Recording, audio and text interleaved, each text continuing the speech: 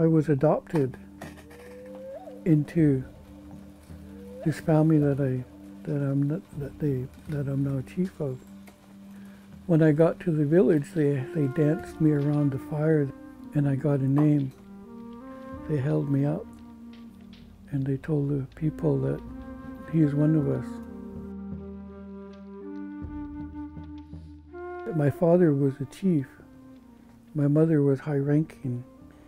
And the old people and their ways wanted that union just to keep the traditions going. Then I was trained by, by those same old people, groomed um, to learn the ways, to learn the language. I thought they were doing that to all the kids, but they weren't. I was learning how to carve and I was learning the language. And when I was just little, we had this book from UBC, the Hawthorn Book of Kwakiutl Art, it was called. My grandmother would daily go through this book. When you get older, you're going to carve these for us. They belong, this mask belongs to your dad. It's now in the museum. And I'm five, six when it started.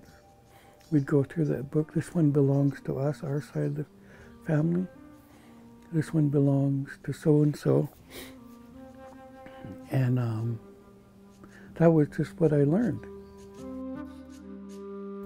My mother couldn't have children, I had found out later, because my parents didn't talk about their experiences, that um, my mother, when she contracted tuberculosis, she was sent to the Nanaimo um, Indian Hospital, TB hospital, and in there, I'd found out to my horror that they um, experimented on them medically and um, sterilized all of them. And uh, I didn't know that. That's where I come in. I was taught to carve and to sing, to dance, and all those things. And and still looking at that book and understanding that this belongs to you. And I was downloaded information about um, the songs and dances on both sides of my family and other families that were close to us. And all of those things that I was asked, I was asked to carve, I did carve. I feel really proud because the masks that I was asked to replicate are were hung with the originals. My replications and the originals were all under the same roof in the Campbell River Museum. And um, the grandparents stood with the grand grandchildren, and, the masks were really happy, and so were we. They had brought me in to tell their story and to rebuild. I had been working on it all along with them. That was the amazing part. We weren't victims anymore. I was their hope of the future.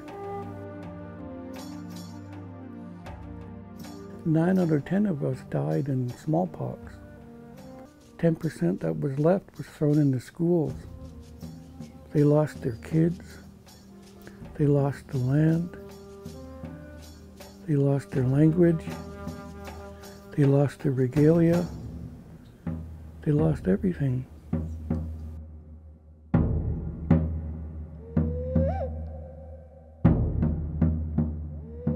Because this was a systemic thing, I think, right across the country, every last nation in their own way had to groom it to keep it going forward.